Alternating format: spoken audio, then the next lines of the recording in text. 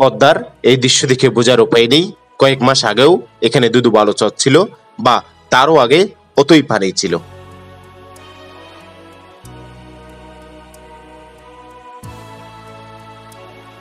এটি এশিয়া বিখ্যাত হালদা নদীর চর। এখানে শীতকালীন সময়ে মৌসুমী সবজির বিপ্লব ঘটে।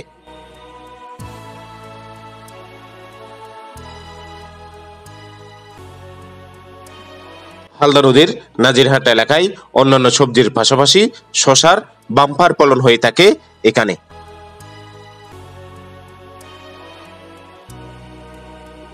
শশার আরেক নাম কেয়ার।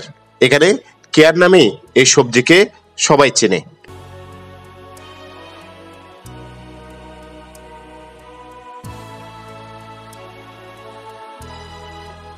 স্থানীয় কৃষক মোহাম্মদ জাহাঙ্গীর আলম হালদার বিস্তীর্ণ চর জুড়ে শশার চাষাবাদ করে থাকেন।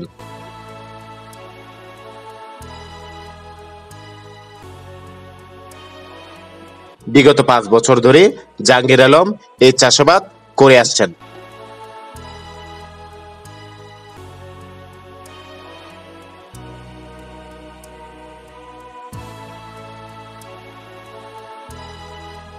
প্রতি বছর অক্টোবর মাসে বীজ রোপণ করা হয় এখানে নভেম্বরের শুরু থেকে একটানা ডিসেম্বর পর্যন্ত চলে এই শশা বেচা কিনা।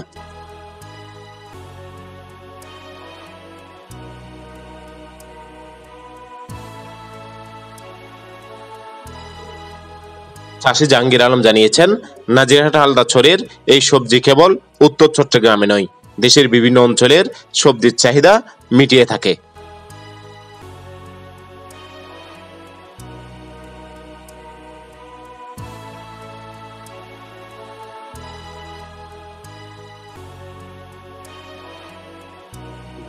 পাইকারিভাবে প্রতি কেজি শশা বা কেয়ার তিরিশ টাকা করে বিক্রি করে থাকেন পাইকারি বিক্রেতা জাহাঙ্গীর আলম।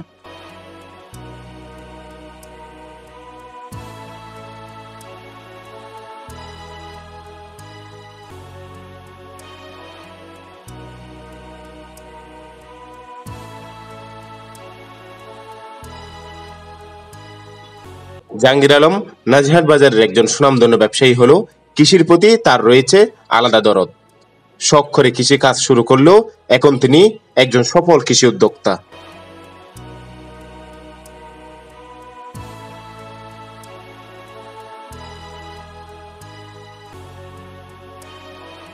স্বাদে এবং গুণে অতুলনীয় জাহাঙ্গীরের কেয়ার চাষাবাদ দেখে অনেক শৌখিন চাষি কৃষিকাজে জড়িয়ে পড়েছেন। এদের মধ্যে অনেকেই আবার সফলতার মুখও দেখেছেন।